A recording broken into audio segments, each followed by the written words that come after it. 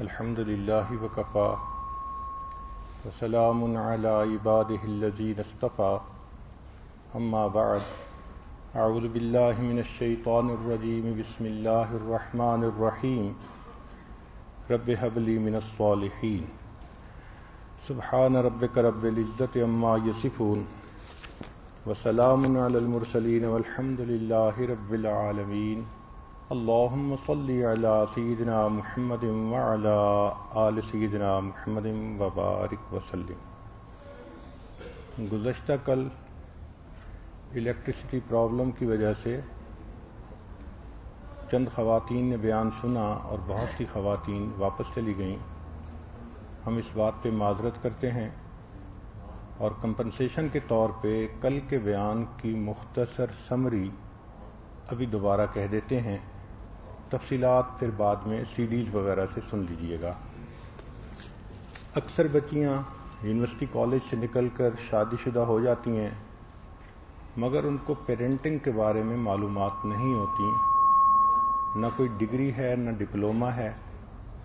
चुनाचे वो hit and trial method के ज़रिए जो अपनी समझ में आया, जो माँ ने बताया, सास ने बताया, बहन ने बताया, वो उसके मुताबिक बच्चे की परवरिश करती हैं। इसकी दलील ये है कि जितनी औरतें आवाज़ सुन रही हैं, अगर उनसे पूछा जाए कि बच्चे की परवरिश से क्या मुराद है तो अक्सर का जवाब ये होगा कि बच्चा हेल्दी हो और एक्टिव हो। जबकि ये इनकम्प्लीट आंसर है। बच्चे की परवरिश के तीन डायमेंशन हैं। पहली डायमेंशन होती है उसकी फ़िज़िकल ग्रोथ। कि बच्चा फिजिकली फिट हो।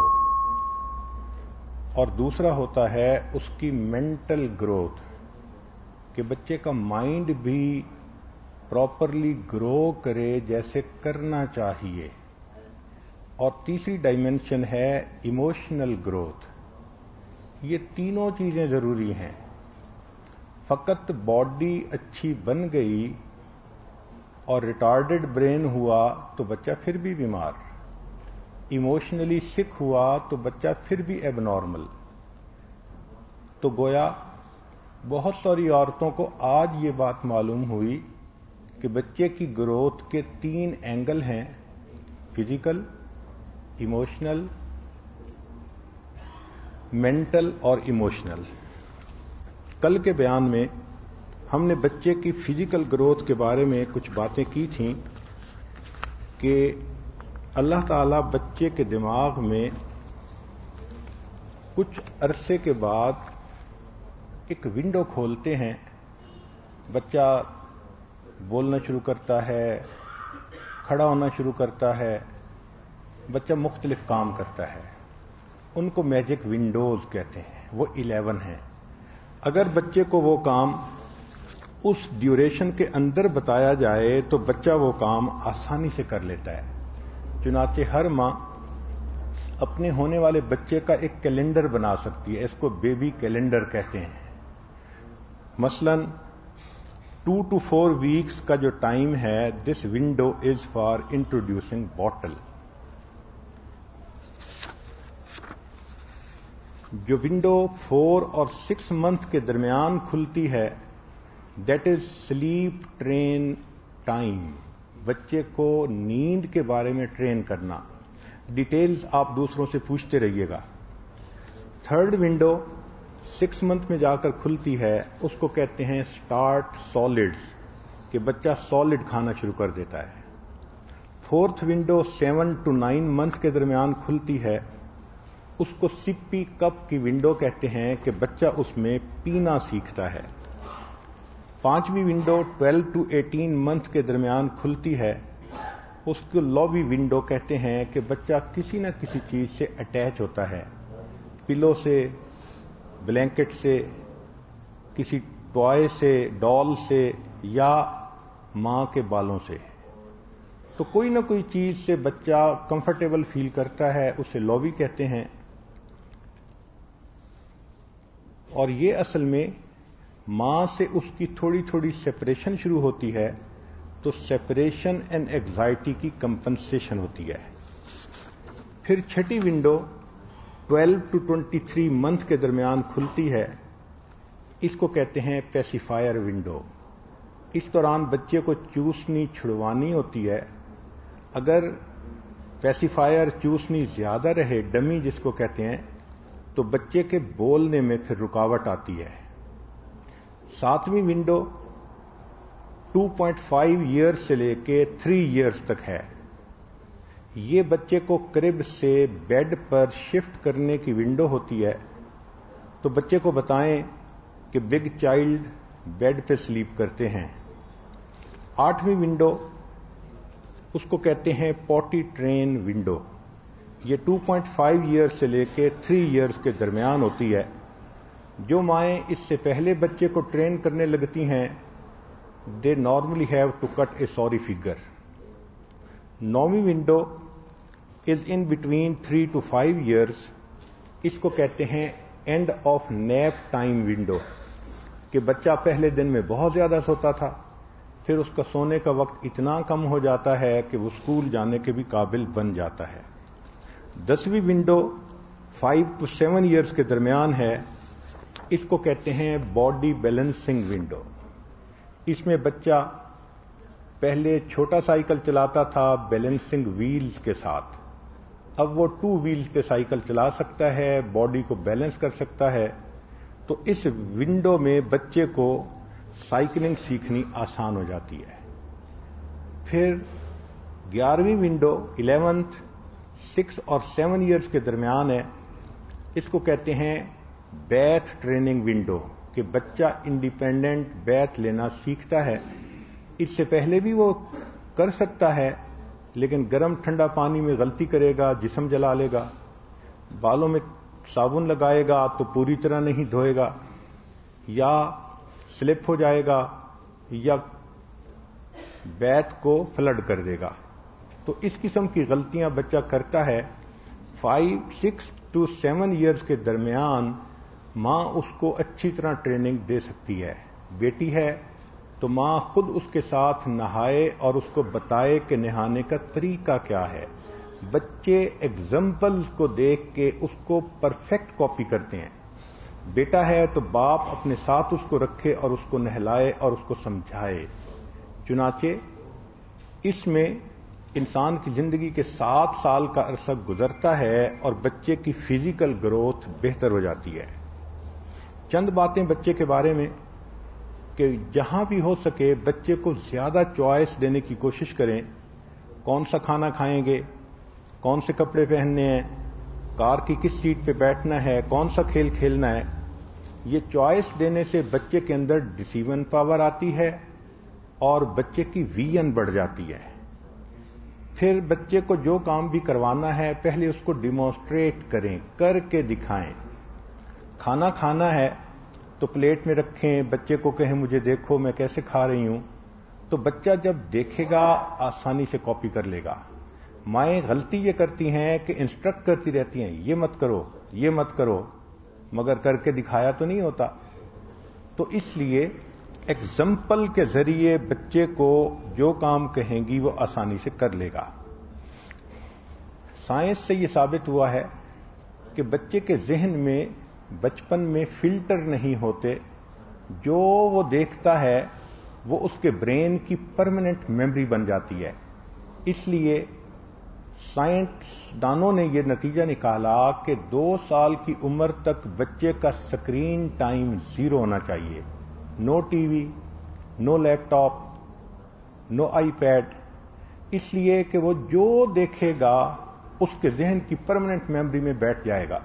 अगर वो कार्टून को नाच गाना करते देखता है तो वो उसी को रियल समझना शुरू कर देगा। लड़ते देखता है तो लड़ना उसकी फितरत बन जाएगा। इसलिए दो साल तक स्क्रीन टाइम ज़ीरो होना चाहिए। बच्चा अच्छा काम करे तो उसको एक्स्ट्रा ऑर्डनरी एप्रिशिएट करना चाहिए। एप्रिसिएशन में फकत खाने पीने की चीज़ ही नहीं देनी होती। मुस्कुरा के देखना बच्चे को किस करना, बच्चे को हक करना, इतनी भी एप्रिसिएशन बच्चे के लिए काफ़ी होती है। बच्चे को अगले दिन का स्केड्यूल ज़रूर बताया करें, ताकि वो मेंटली प्रिपेयर्ड हो। कल मैंने स्कूल जाना है, कल हमारी घर में मेहमान आएँगे, दावत होगी, कल हमने सफ़र पे जाना है। अक्सर हम बच्चों को एन मौके पे कहते हैं, जबकि वो मेंटली तैयार नहीं होते। बच्चे को खाना फैमिली के साथ खाने में लर्न करने का बड़ा फ़ायदा होता है। वो माँ से भी लर्न करता है, बाप से भी, भाई से भी, बहन से भी। और फैमिली में होने से उसको एक सिक्योरिटी की सेंस मिल जाती है। घर के अंदर जो चीज़ें खराब होने वाली हैं, टूटने वाली हैं, उनको शुरू से ही बच्चे की रीच से बाहर रखें, ताकि बच्चे को खेलने की, भागने, दौड़ने की घर में फ्रीडम हो। बात बात पे नो कहना नो कहना ये अच्छी आदत नहीं। साइंसदानों ने इस रिसर्च को इस तरह नतीजा निकाला कि अगर आप वन टाइम नो कहती हैं तो अब कंपनसेशन के लिए कम अज कम थ्री टाइम आपको यस कहना चाहिए, तब उसकी बैलेंस पर्सनैलिटी होगी। वरना नो की वजह से उसकी नेगेटिव पर्सनैलिटी बन जाएगी, वो रिएक्टिव बन जाएगा। बच्चे के सामने कोई ऐसी बात न करें जिससे उसके जहन में कोई बुरी यादाश्त बैठ जाए, जो मियाँ बीवी आपस के मेल मिलाप के मामले बच्चों के सामने कर लेते हैं कि जी वो छोटे हैं, क्या पता? उनके बच्चे आम तौर पर जवान होकर ज़्यादा जल्दी बेराह रवि का शिकार हो जाते हैं। और आखिरी बात कि माँ मोहब्बत में बातें तो बहुत कर देती है, मगर बच्चा उससे कोई दूसरा लेसन हासिल करता है। एक शख्स की बीवी फौत हो गई, अढ़ाई साल का बेटा था, उसने दूसरी शादी कर ली। तो कुछ अरसे के बाद बच्चा दूसरी माँ के साथ एडजस्ट हो गया। तो बाप ने पूछा कि बेटा, तुम्हारी पहली मम्मी और दूसरी में क्या फ़र्क? उसने कहा, पहली झूठी थी, दूसरी सच्ची है। उसने कहा, वो कैसे? कहने लगा कि जब पहली अम्मी कहती थी, अगर तुमने बात न मानी, मैं तुम्हें खाना नहीं दूँगी। तो मैं बात नहीं मानता था, मगर थोड़ा वक्त गुजरता था तो मम्मी खाना बनाती थी, फिर मुझे तलाश करती थी, फिर मेरी मिन्नत करती थी। मैं नाज नखरे करता था, बड़ी मिन्नत के बाद वो मुझे खुद खिलाती थी। तो वो मेरी मम्मी झूठी थी। और दूसरी मम्मी मेरी सच्ची है, क्यों? कल उसने कहा था, तुमने बात ना मानी, मैं खाना नहीं दूँगी। अब वो आज दूसरा दिन गुजर गया। उस माँ ने मुझे खाना नहीं दिया। जो मोहब्बत माँ दे सकती है, वो दूसरा तो नहीं देख सकता। मगर बच्चा माँ के बिहेवियर को देखकर अपनी एक लेसन सीखता है। तो अगर आपने बच्चे को नो कही तो वो नो ही होनी चाहिए। फर्म होना चाहिए। ये समरी थी कल के बयान की। अब अगली समरी कि बच्चे की मेंटल ग्रोथ कैसी होनी चाहिए ये आज के बयान का टॉपिक है। इसमें चंद बातें याद रखें कि मेंटल ग्रोथ के भी 11 स्टेजेस हैं। माँ को अगर पता हो तो वो देखेगी कि हर स्टेज पर बच्चे का माइंड प्रॉपरली ग्रो कर रहा है या नहीं कर रहा। First stage newborn stage बच्चा पहले दिन से इशारे समझता है और फ़र्स्ट मंथ के बल्कि तीसरे दिन वो रिस्पांस देना भी शुरू कर देता है। फ़र्स्ट मंथ के आखिर तक बच्चा आवाज़ पे मुतवजह होता है और रिप्लाई करने के लिए अपना मुँह बनाता है।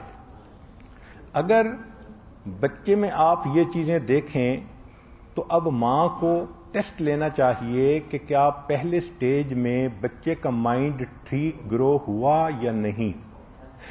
तरीका यह है कि आप गौर करें कि बच्चे के सामने अगर आप अपने सर को एक तरफ़ से दूसरी तरफ़ हिलाती हैं तो क्या बच्चा आपके सर की तरफ़ देखता रहता है? बच्चे की वीएन की रेंज एक फुट होती है इब्तदा में। He can clearly see up to one feet clearly उससे दूर उसकी वीएन प्रॉपर नहीं होती।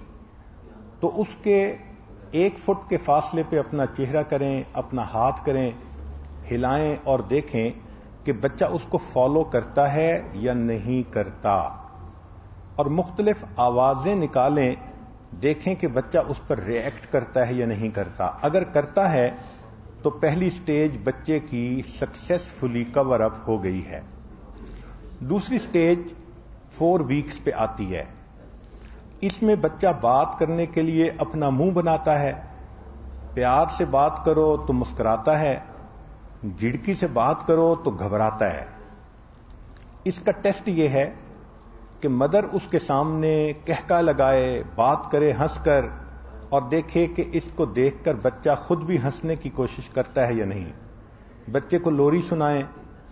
बच्चे में सेंस ऑफ़ रिदम इस वक्त तक आ चुकी होती है।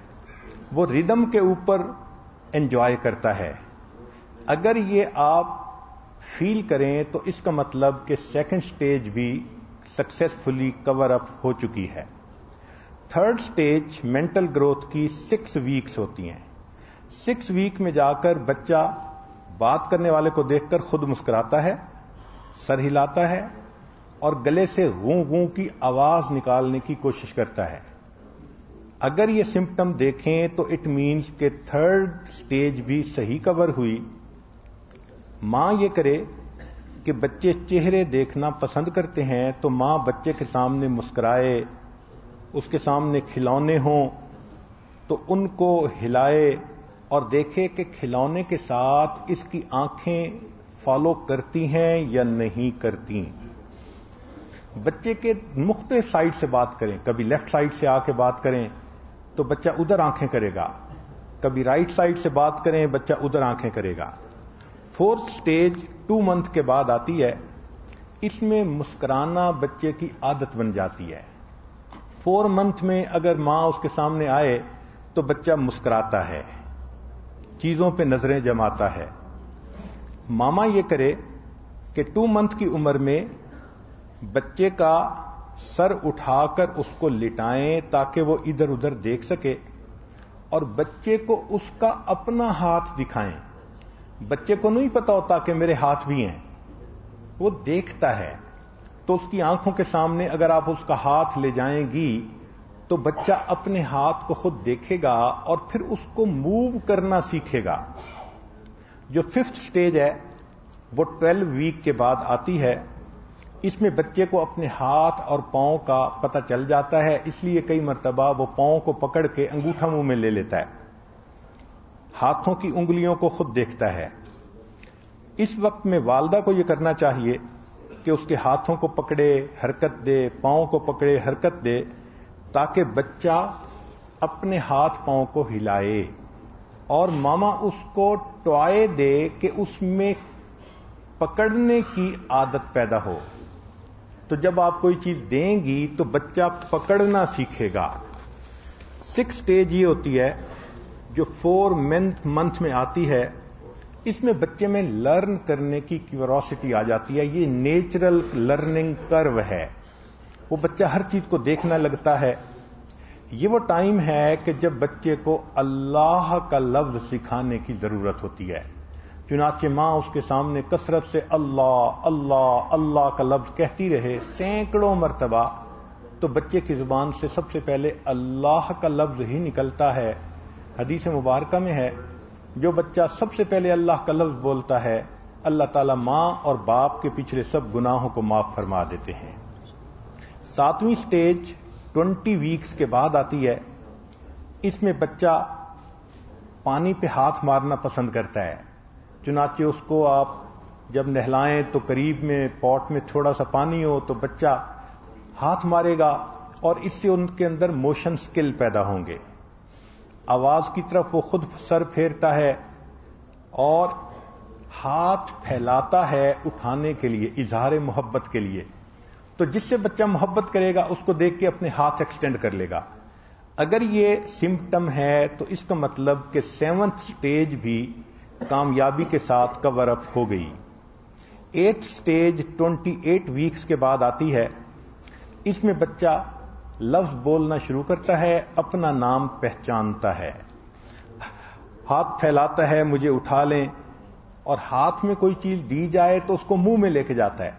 जब भी हाथ में कोई चीज़ पकड़े, मुँह में डाले, आप समझ लें कि अब ज़िंदगी में फ्रीडम की ये पहली निशानी है। ये बच्चा खुद खा पी सकेगा और अपनी ज़िंदगी गुजार सकेगा। ऐसे वक्त में वालदा को चाहिए कि वो बच्चे को मिरर के सामने करे और उसका चेहरा दिखाए। बच्चा अपना चेहरा देखना पसंद करता है, दूसरों के चेहरे देखना पसंद करता है। इस उम्र में, इस स्टेज में बच्चे को बिठाएँ और बॉल रोल करना सिखाएँ पुश करना सिखाएँ।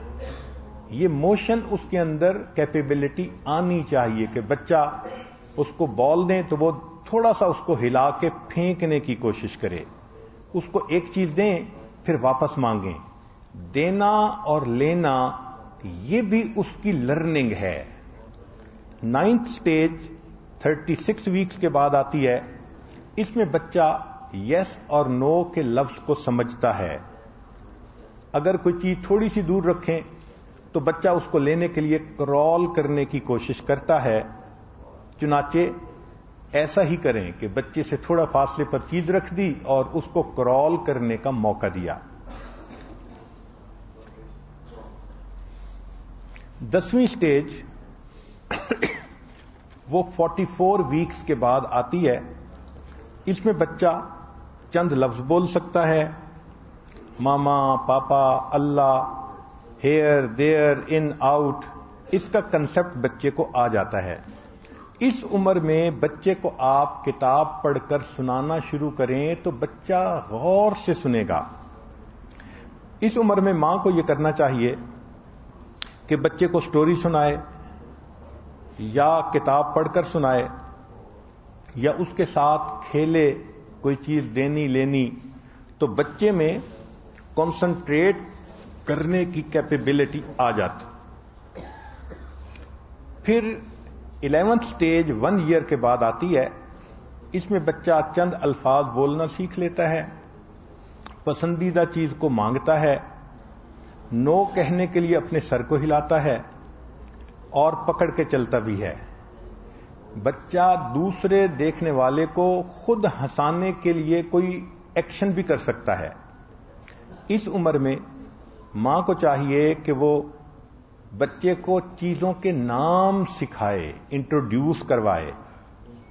ऐसा काम करें कि बच्चा उसको कॉपी कर सके और जब वो कॉपी करे तो उसको किस करें।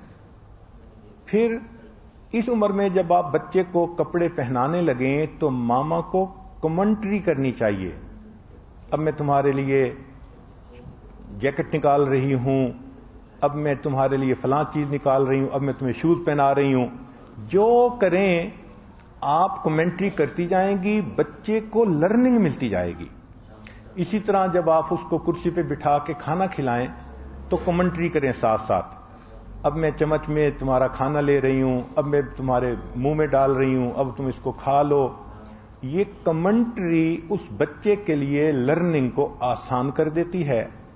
एक साल की ये उम्र मेंटल ग्रोथ के लिए बहुत काफ़ी होती है। अगर ये इलेवन स्टेजेस ठीक हो गई तो इसको मतलब बच्चे की मेंटल ग्रोथ काफ़ी हो गई। अब बेबी का जो पोस्चर है, उस बारे में कुछ माएँ गलती करती हैं कि वो उसको तीन महीने से, तीन मंथ से पहले थ्री मंथ से पहले बिठाना शुरू कर देती हैं। याद रखें कि बच्चे को बिठाने में, चलाने में जल्दी हरगिज नहीं करनी चाहिए। जब उसका वक्त आता है, बच्चा खुद ब खुद ये सारे काम करना शुरू कर देता है। जो माँ बाप वॉकर्स यूज़ करते हैं, उस बच्चे के मोटर स्किल डिलेड हो जाते हैं। और थ्री मंथ से पहले बच्चे को जो बिठाने की कोशिश की जाती है, उनकी रीढ़ की हड्डी कमज़ोर हो जाती है। क्योंकि सर वजनी होता है, रीढ़ की हड्डी कमज़ोर होती है तो वो उसमें कर्व आ जाता है। तो इस गलती को कभी भी नहीं करना चाहिए। जो फीट की डेवलपमेंट है, वो नॉर्मली ठीक होती है बच्चे को छोटी उम्र में जूते कम पहनाने चाहिए। बेयर फुटेड बच्चे की फीट ग्रोथ बेहतर होती है। हाँ, सर्दी हो तो उसको सॉक्स पहना लेनी चाहिए। फेशियल एक्सप्रेशन की जो डेवलपमेंट है, वो इस तरह कि जब अजनबी बच्चे के पास जाता है तो वो स्केरी होता है। वाकिफ जाता है तो बच्चा खुश होता है। झिड़की दो तो रोता है। अगर ये तीनों सिम्टम हैं, इसका मतलब कि उसकी ये ग्रोथ भी नॉर्मल है। अब इन तीन चीज़ों के बाद जो नेक्स्ट चीज़ है, वो जरा गौर से सुनिए कि बच्चे को दांत निकलने का वक्त आता है, उसको टीचिंग टाइम कहते हैं। ये फोर टू सेवन मंथ के दरमियान होता है। अगर डिलेड है तो उसकी कोई खास वजह होती है। इसके सिम्टम है। जब बच्चा टीचिंग स्टेज पे होता है तो गम सेलिंग होती है इरिटेबिलिटी होती है, या बाइटिंग बिहेवियर आ जाता है रिफ्यूजिंग फ़ूड की कंडीशन आ जाती है, या स्लीप प्रॉब्लम होता है, या बच्चे को बुखार हो जाता है, या पोटी प्रॉब्लम होता है। ये सारे सिम्टम हैं कि बच्चे के दांत निकल रहे हैं। जैसे ही बच्चे के दांत निकले, माँ को चाहिए कि बच्चे को उस वक्त दांत साफ़ करने की आदत डाले। इतना छोटा बच्चा भी इसको सीखता है। चुनाचे उसको टूथ ब्रश छोटा जो है बच्चों वाला, वो टॉय के तौर पर दें। तो बच्चा उसको मुँह में डालेगा और उसको चबाएगा, ये उसकी ट्रेनिंग है। एक बात ये जेन में रखें कि इब्तदा में जूनियर फ्लोराइड टूथपेस्ट इस्तेमाल करें, बच्चे को वो फ़ायदा देती है और बच्चा उसको एंजॉय करता है। लेकिन cleaning the teeth should be the last activity before sleep. उसके बाद फिर सो जाना चाहिए। बच्चे को जितनी बीमारियाँ दांतों से लगती हैं, उतनी किसी और चीज़ से नहीं लगती। इसलिए नबी इस्लाम भी मिसवाक को पसंद फरमाते थे और फरमाया कि जो लोग अपने दांतों को साफ़ रखते हैं तो हदीस पाक का मफहूम कि उनको ज़िंदगी में बीमारियों से अल्लाह ताला महफूज फरमाते हैं। तीसरी चीज़ है बच्चे की नींद। उसका स्केजुअल भी सुन लीजिए। वन मंथ का बच्चा आठ घंटे दिन में सोता है, आठ घंटे रात में तो सिक्सटीन आवर स्लीप होती है। थ्री मंथ का बच्चा फाइव फाइव आवर्स डे में सोता है टेन आवर्स नाइट में fifteen hour sleep six month का बच्चा इलेवन आवर दिन में और थ्री आवर दिन में और इलेवन आवर नाइट में तो फोर्टीन हो जाते हैं। फिर ट्वेल्व मंथ का बच्चा टू आवर दिन में और इलेवन आवर रात में तो थर्टीन फिर एटीन मंथ में भी थर्टीन फिर टू ईयर में भी थर्टीन आवर अलबत्ता थ्री ईयर में जाके वो दस घंटे रात को सोता है, एक घंटा दिन में। तो तीन साल के बच्चे की नॉर्मल स्लीप इलेवन आवर्स होती है। बच्चे के अंदर बसा औकात रोने की आदत होती है। ये रोना एक निशानी है कि बच्चे को कोई प्रॉब्लम है, चूँकि वो बोलना तो नहीं जानता कि बता सके। तो फकत रोता है कि, मामा, मुझे कुछ मसला है, मेरी बात समझने की कोशिश करो। तो उसको झिड़कना नहीं चाहिए, बल्कि उसकी प्रॉब्लम को समझने की कोशिश करनी चाहिए। नॉर्मल उसकी जो वजूहत होती हैं, हंगर, भूख होती है, डर्टी, नैपी, उस पर बच्चा रोता है, नींद करना चाहता है, उस पर रोता है, चाहता है कि मुझे उठाया जाए, थक गया है लेटे लेटे तो उस पर रोता है, चाहता है कि मामा मुझे हग करे, उस लिए रोता है, लेकिन ये जेन में रखें कि too much holding is spoiling बच्चे को हर वक्त उठाए रखना यह भी बच्चे को स्पॉइल करना है। या फिर बच्चे को टमी ट्रबल होती है, गैस है, कोलिक है, जिसकी वजह से बच्चा रोता है। अब इंपॉर्टेंट अहम बात यह है कि बच्चे के अंदर कुछ डेवलपमेंटल डिलेज होते हैं। ये फाइव किस्म के होते हैं। ये बड़े अहम हैं। माए इसको अच्छी तरह समझने की कोशिश करें। पहले को कहते हैं स्पीच डिले ये टॉडलर्स में कॉमन होती है। आमतौर पे इसकी जो रीजंस होती हैं, वो होती हैं कि exposure to more than one language या लर्निंग डिसेबिलिटी या उसके जो मसल हैं बोलने वाले, उनमें प्रॉब्लम होती है, या उसका हियरिंग लॉस होता है। तो इस किस्म की रीजंस की वजह से बच्चा जल्दी नहीं बोलता। इसके सिम्टम हैं कि माँ पहचान सकती है कि इसमें डिले हो रहा है या नहीं। सिम्टम सुन लीजिए। थ्री टू फोर मंथ अगर बच्चा आवाज़ पे रिस्पॉन्ड नहीं करता और मुँह से आवाज़ नहीं निकलता बेबल नहीं करता तो इसका मतलब कि डिले है।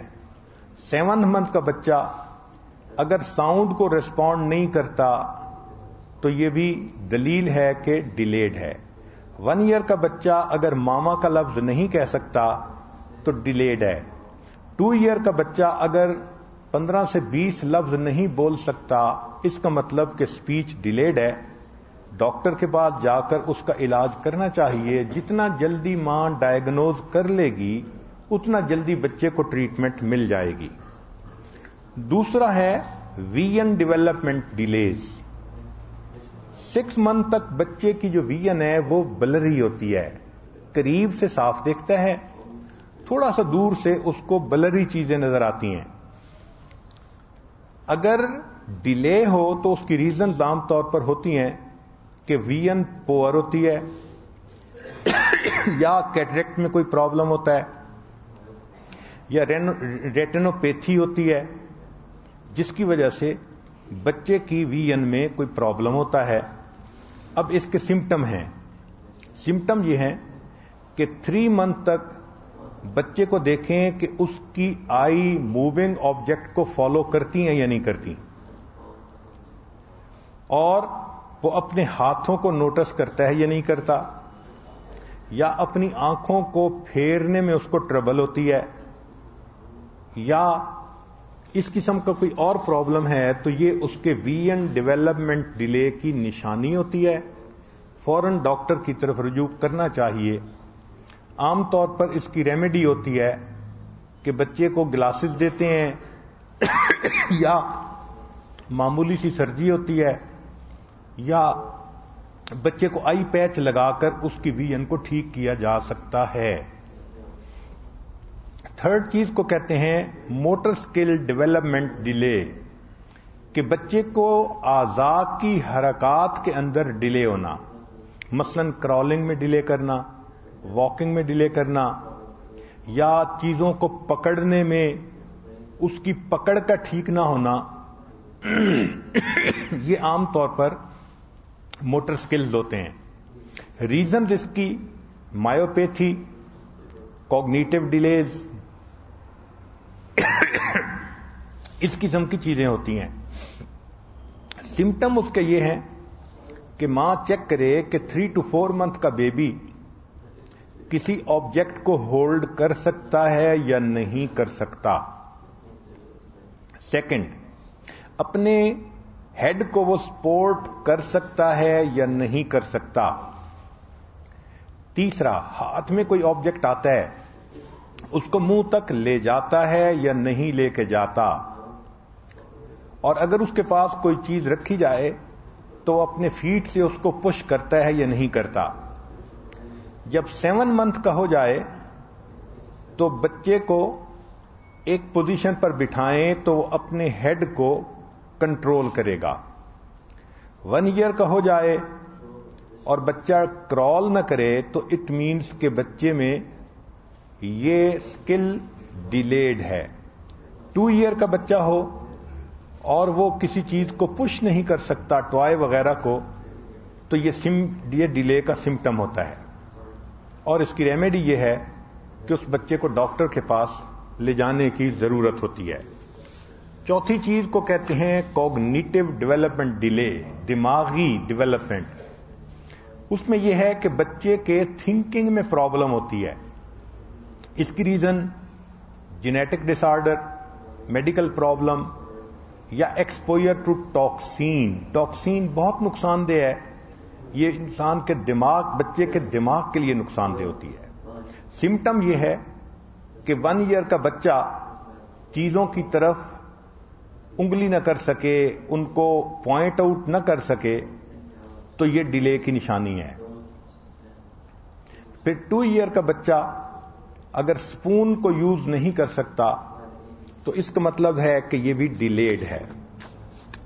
Fifth and final emotional development delay ये होता है कि एक बच्चा दूसरे बच्चों के साथ इंटरएक्शन प्रॉपर नहीं करता। रीजन पेरेंटल निग्लेक्ट जब माँ निग्लेक्ट करती है तो बच्चे के अंदर ये इमोशनल डिले आ जाता है, बच्चा स्केरी बन जाता है, दूसरे बच्चों को देख के बस रोने लग जाता है। या अटैचमेंट प्रॉब्लम माँ के साथ इतना अटैच्ड है कि किसी और की तरफ़ देखना पसंद नहीं करता, या कॉग्निटिव डिले होती है उसमें। अब ये रीजन होती हैं, मगर उसके सिम्टम ये हैं कि तीन मंथ का बच्चा अगर स्माइल नहीं करता तो प्रॉब्लम है। सेवंथ मंथ का बच्चा अगर उसको कुडल किया जाए और रिफ्यूज करे, रोए तो इसका मतलब है कि उसके अंदर ये डेवलपमेंट डिले है। एट मंथ का बच्चा अगर उसको हाथ से पिकबू करके दिखाया जाए और वो रिस्पॉन्स न करे तो इट मीन्स के डिले है। ऑन वन ईयर का बच्चा उसके सामने हाथ वेव किया जाए और वो रिस्पॉन्ड न करे तो इसका मतलब डिले है। रेमेडी ये है कि उसको टॉयज दें उसके बिहेवियरल और स्किल डेवलपमेंट के थेरेपी के लिए मेडिकेशन भी दी जा सकती है।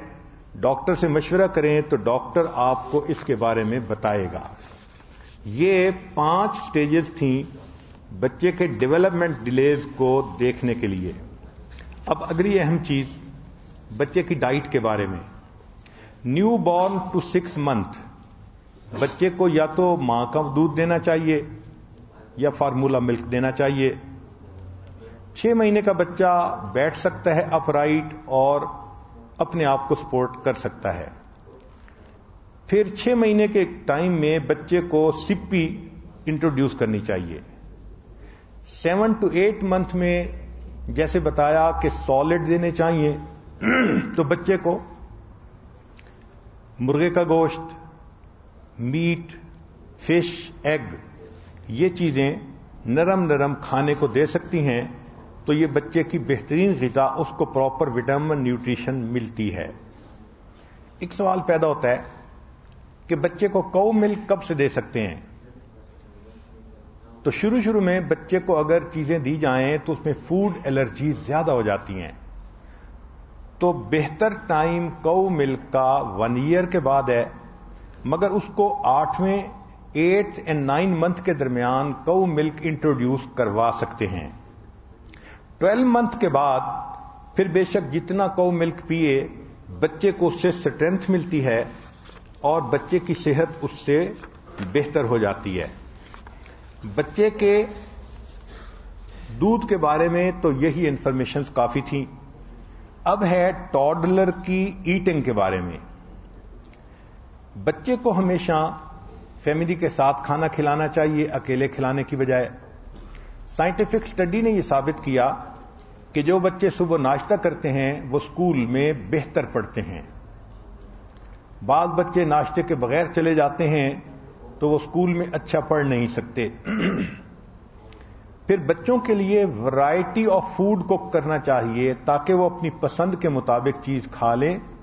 मगर शुरू से low sugar low salt low fat के ही खाने बच्चे के लिए रखने चाहिए, वरना उसके लिए ज़्यादा सॉल्टी और ज़्यादा स्पाइसी और इस किस्म की शुगर वाली चीज़ें वो ज़्यादा आदत बन जाती हैं जो लेटर स्टेज पे बच्चे की सेहत के लिए नुकसानदेह होती हैं। बच्चे को जब आप टॉडलर को शॉपिंग के लिए जाएँ तो उसको साथ लेके जाएँ। बच्चे को एक्सप्लेन करें, मैंने ये चीज़ उठाई तो क्यों उठाई, इसके टैग पे क्या लिखा हुआ है, इसकी कीमत कितनी है और इसके फ़ायदे क्या हैं? ये बच्चे की इनफॉर्मल एजुकेशन है। साइंसदानों ने कहा कि ये फॉर्मल एजुकेशन से ज़्यादा बेहतर होती है। फिर बच्चों के पास फ्रूट बास्केट बहुत इजी अवेलेबल रखें। Juices easily available milk easily available water easily available कोशिश करें कि सोडा चिप्स और कुकीज ये बच्चों से दूर ही रहें। क्योंकि इसकी आदत अगर बढ़ जाए तो बच्चे की सेहत पे नुकसान होता है। कभी भी बच्चे को खाने की चीज़ ब्राइब में न दें। इस तरह बच्चे में ओवर ईटिंग की आदत आ जाती है।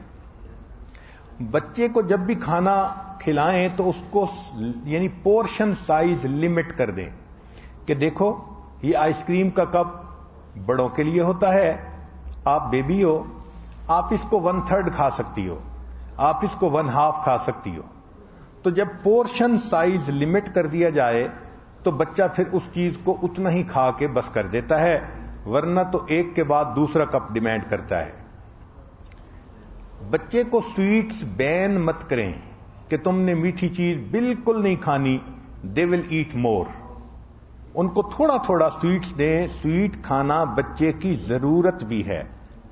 हाँ, एक अहम बात कि cut down on process food ये जो प्रोसेस फ़ूड है, इनमें प्रिजर्वेटिव होते हैं, वो बच्चे के लिए बहुत नुकसानदेह होते हैं। इनको टिन फ़ूड को सही रखने के लिए इसके अंदर प्रिजर्वेटिव डाला जाता है, जो बेसिकली लो पॉइजन होता है, जो बैक्टीरिया को मारता है। अगर वो पॉइजन बैक्टीरिया को किल कर सकती है तो बच्चे के अपने पेट में भी तो हेल्दी बैक्टीरिया होते हैं, वो उनको क्यों नहीं किल कर सकती? लिहाजा टिंड फ़ूड बच्चे के लिए जितना अवॉइड कर सके उतना बेहतर होता है। इसी तरह व्हाइट ब्रेड केक ये जो प्रोसेस चीज़ें हैं, ये नुकसान देती हैं। बच्चे के लिए फ्रोजन ट्रीट्स माँ को खुद बनाने चाहिए। मसलन जूस क्यूब्स फ्रीज करें बच्चा एंजॉय करे। ग्रेप्स को फ्रीज करें, बच्चा एंजॉय करे। अब नेक्स्ट टॉपिक है किड्स एंड जंक फ़ूड क्योंकि हम ऐसे साइंटिफिक दौर में हैं कि जंक फ़ूड आम हो गया है। अब उसको स्टॉप भी नहीं कर सकते। मगर we should try to choose good food for our children मसलन फ्रेंच फ्राइज हैं तो ग्रिल्ड और लो सॉल्ट वाली लें। आइसक्रीम है तो लो फैट वाली लें। फ्रोजन योगर्ट बच्चों को खिलाएँ, उसकी आदत पड़े, योगर्ट अच्छी होती है। फ्रेश फ्रूट, समूथीज बच्चे के लिए और अच्छी होती हैं। अगर फ्राइड चिकन है तो बेक्ड हो या ग्रिल्ड हो।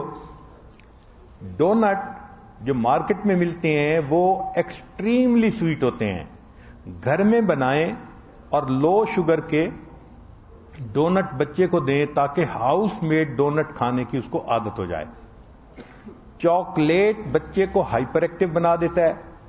लिहाजा चॉकलेट ड्रिप कुकीज दें। हो कुकीज, मगर एक लेयर चॉकलेट की हो ताकि ज़्यादा चॉकलेट उसके मुँह में न जाए। जैसे vanilla water, fruit and caramel dipped चीज़ें होती हैं। बच्चे को पोटैटो चिप्स दें, मगर लो साल्ट वाली की आदत डालें। पॉपकॉर्न खाना चाहते हैं तो अनबटर्ड खाए। अगर चिप्स हैं तो बेक्ड हो सोया क्रिस्पी अच्छी होती हैं।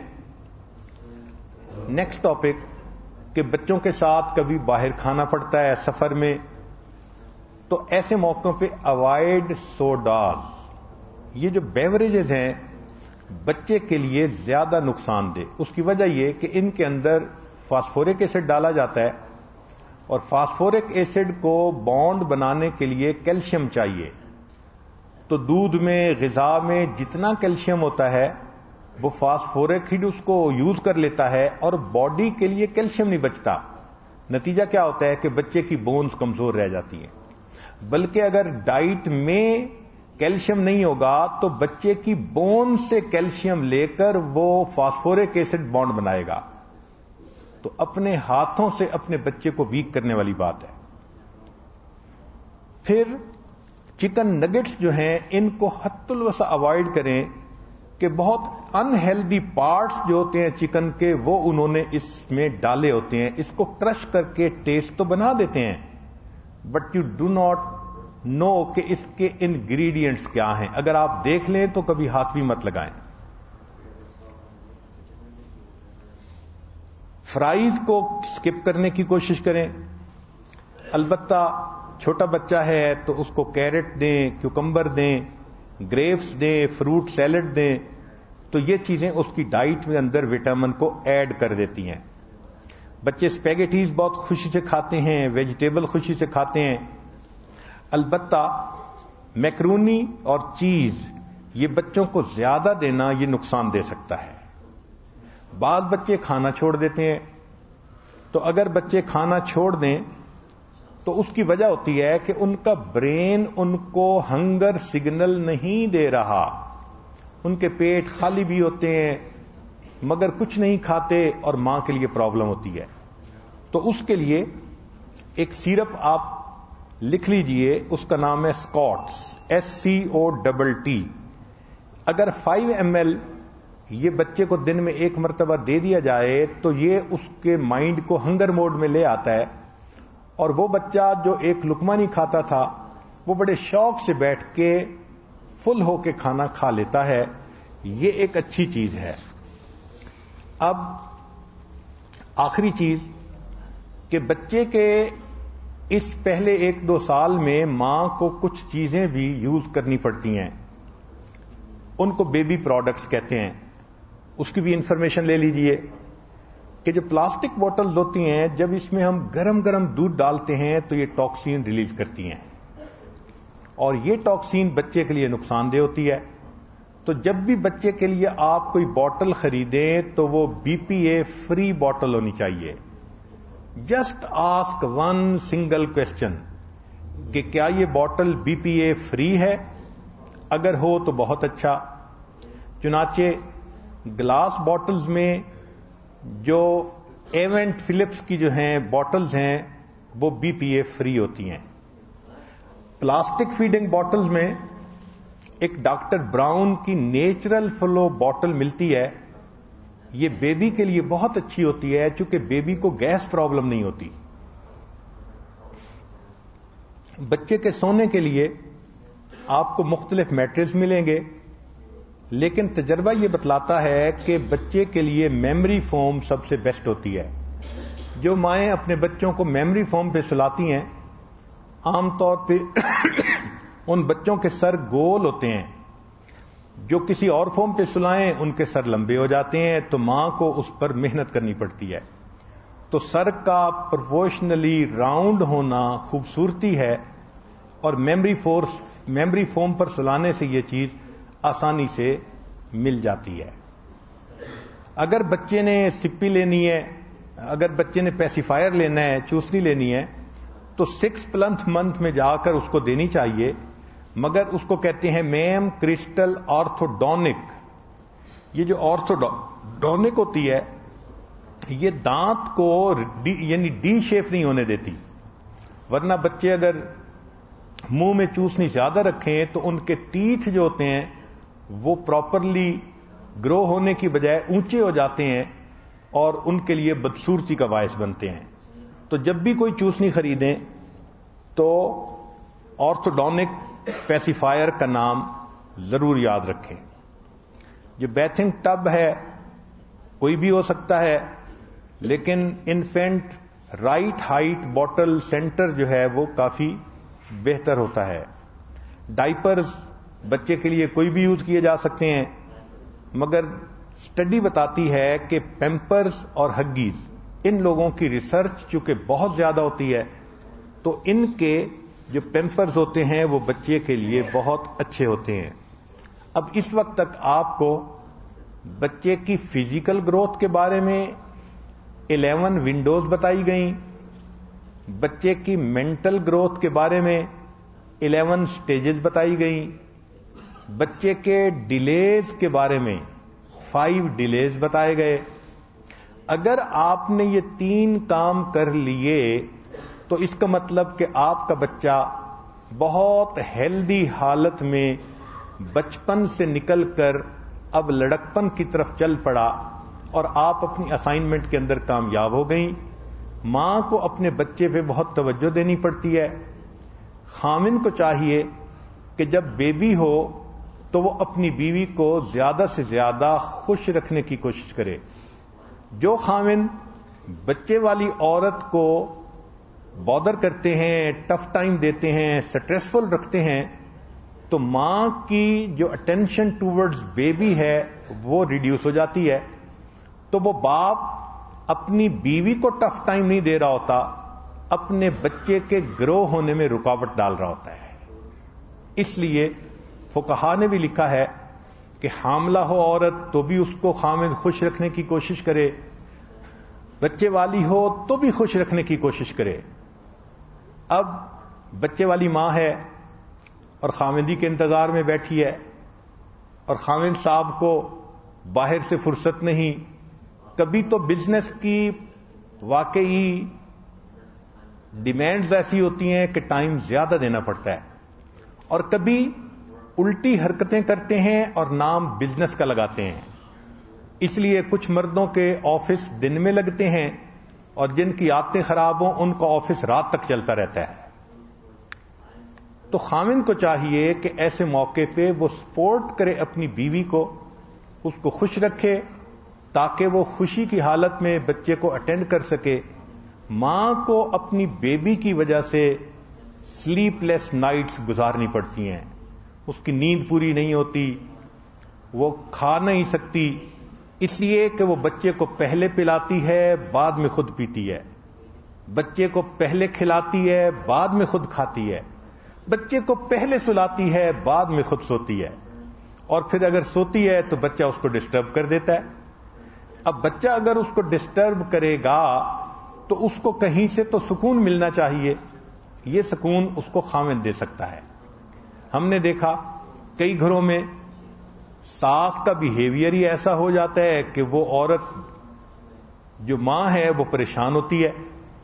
तो जितने बाहर के लोग माँ को परेशान कर रहे होते हैं, वो हकीकत में बच्चे पे जुल्म कर रहे होते हैं।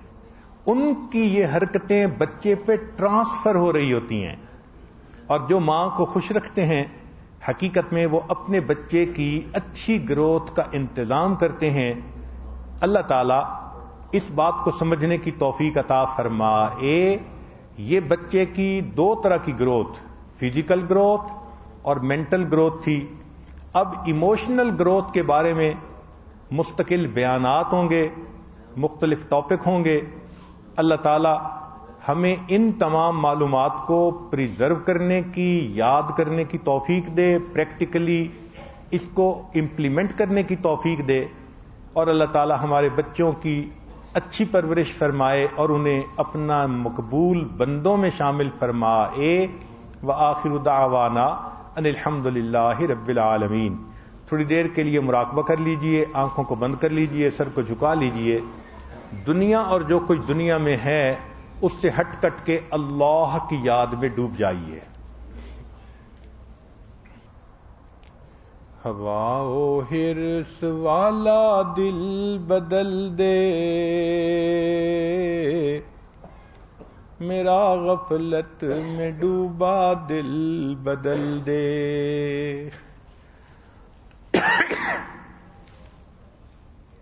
बदल दे दिल की दुनिया, दिल बदल दे।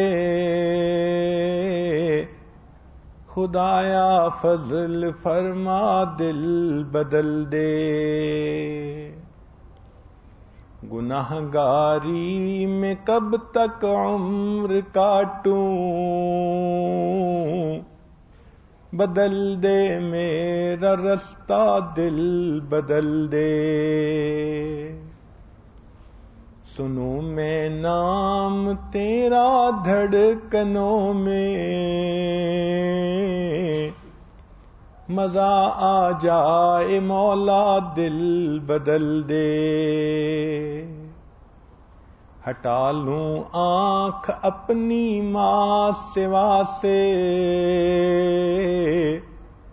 जीऊं मैं तेरी खातिर दिल बदल दे। करूँ कुर्बान अपनी सारी खुशियाँ। तू अपना गम अता कर दिल बदल दे। जो हो दीदार, तेरा रोज माशर तू देखे मुस्करा कर दिल बदल दे। ये कैसा दिल है सीने में इलाही?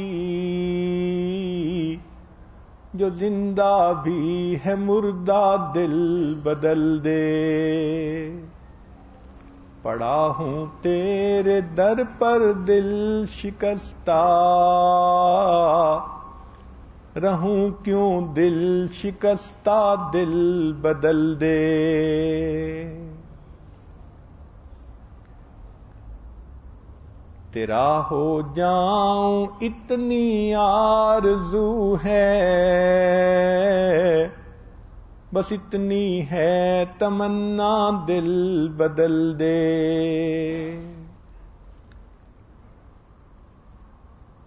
मेरी फरियाद सुन ले मेरे मौला। बना ले अपना बंदा दिल बदल दे।